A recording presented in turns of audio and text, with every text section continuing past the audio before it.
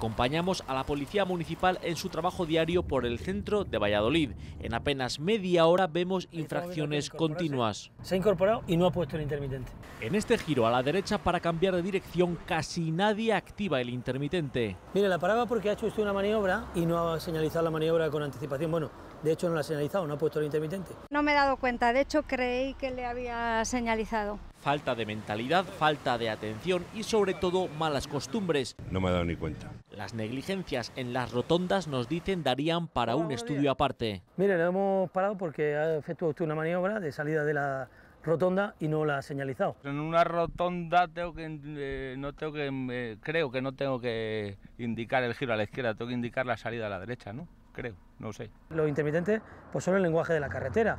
Es con lo que nosotros le decimos al resto de los conductores qué es lo que vamos a hacer. Las sanciones van de los 80 a los 200 euros dependiendo de la gravedad del asunto.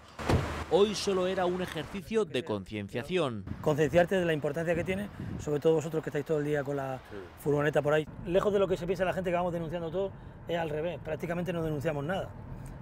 no se denuncia ni un 10% de las infracciones, porque estaríamos todo el día denunciando. Prudencia y sensatez al volante por el bien común.